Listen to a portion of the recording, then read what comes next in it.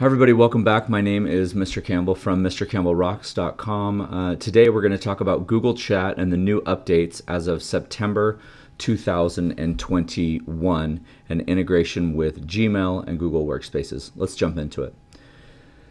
So, first thing is that Google Chat now has a native app that you can download on iOS or Microsoft. It's an app that just runs in the background of your computer. You can get notifications, different things like that straight to your desktop.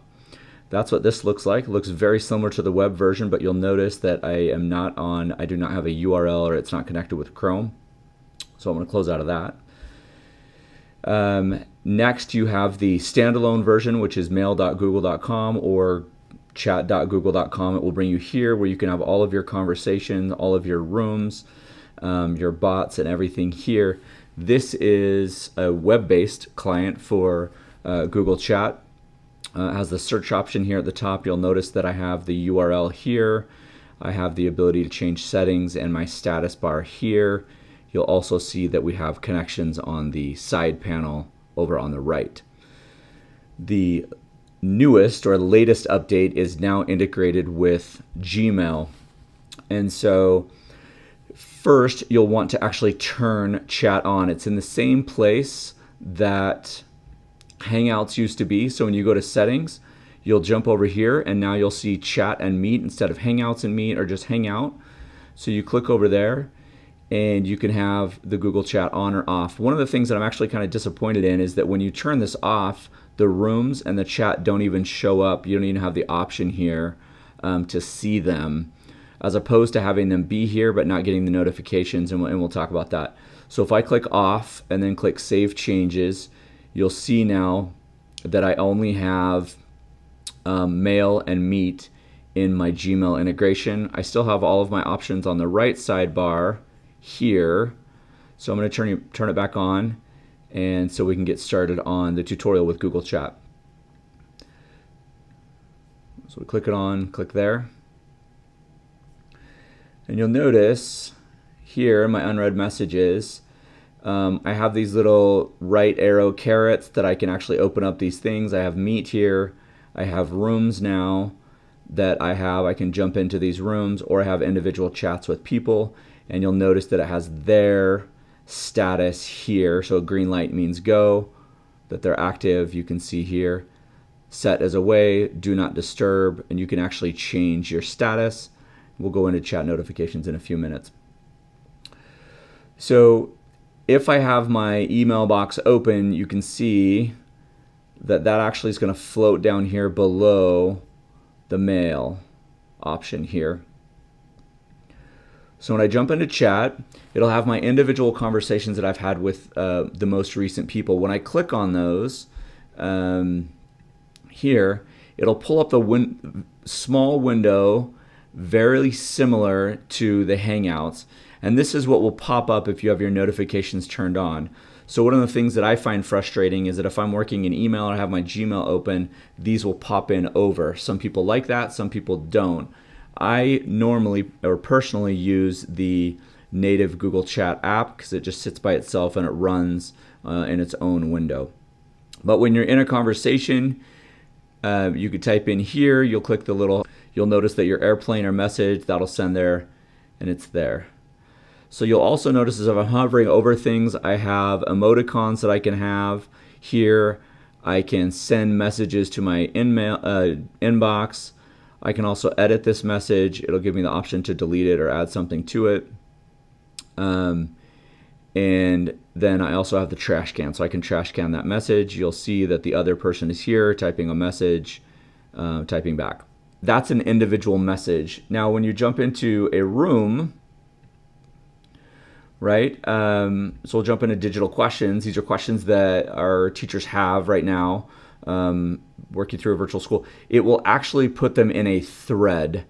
So these messages kind of are put in like a message board and different people can answer. So I obviously work in a virtual school now, and so our teachers are all over the place uh, at home in our different buildings and different offices. So they're answering each other's questions here like a message board. We have the same options as we hover over messages. I can edit my own messages, however, I cannot edit other people's messages, but I can send them to my inbox and respond with emoticon, you can click there and you see all the um, emojis that pop up. The other thing that they've added here is this option for files. So any files that I want to add to a chat, I can just go here and obviously you'll know exactly where this is going to go. This is going to go to your drive. It will give you the option to upload my drive, shared drives.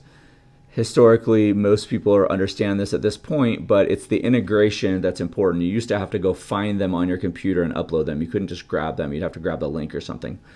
So the other new update, which is awesome, is tasks. So you can assign tasks to specific rooms.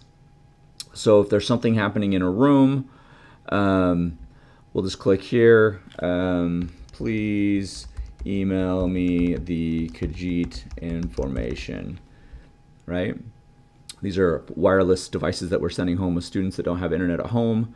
I can add the date and time. I now have the ability to assign this to an individual person when I click on add, you can see that I could actually view this in chat. So when I click on view this in chat, you'll see that I can now give this task to Brian Henson and he will get this. He's already at work today, so he'll probably respond back in a couple minutes.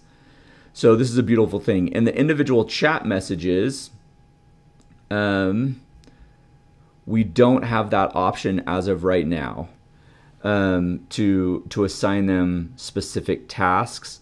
So you'll have to go to a room to assign a task, and then see that show up in that room.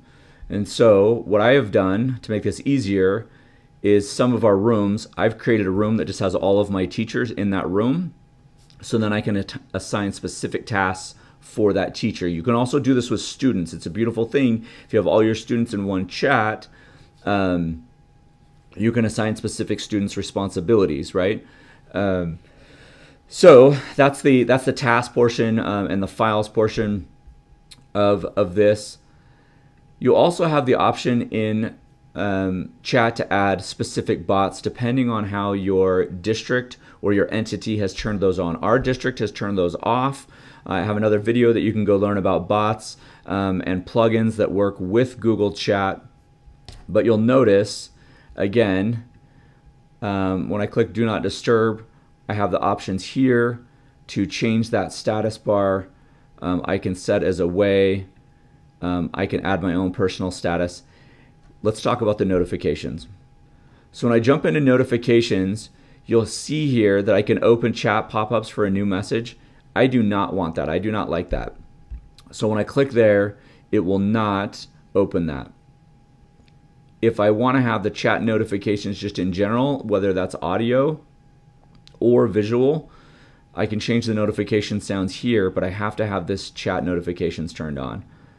So you're not going to be able to hear these notes, but um, because I have my microphone plugged in, you can change the sound of those there.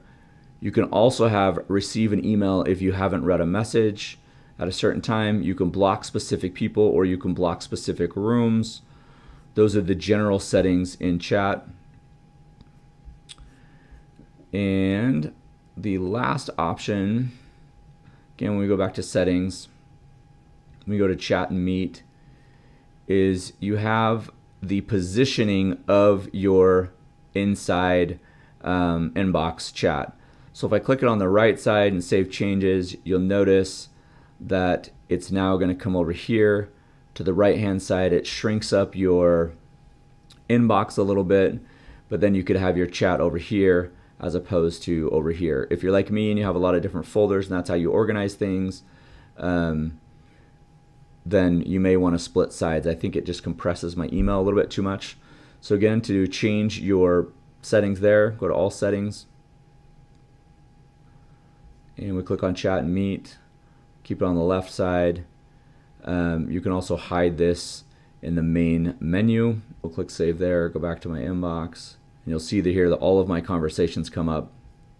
Anyway, um, I'd love to hear from you about Google Chat, how often you use it. Obviously, working in a virtual school, everybody is online all the time, so we have a lot of chatting going back and forth, the different messages and questions and different things. Um, but if you're here, it's most likely because you're an educator or in small business working with Google Chat, which is replacing Google Hangouts. I love you, I appreciate you, and I'm glad that you're here.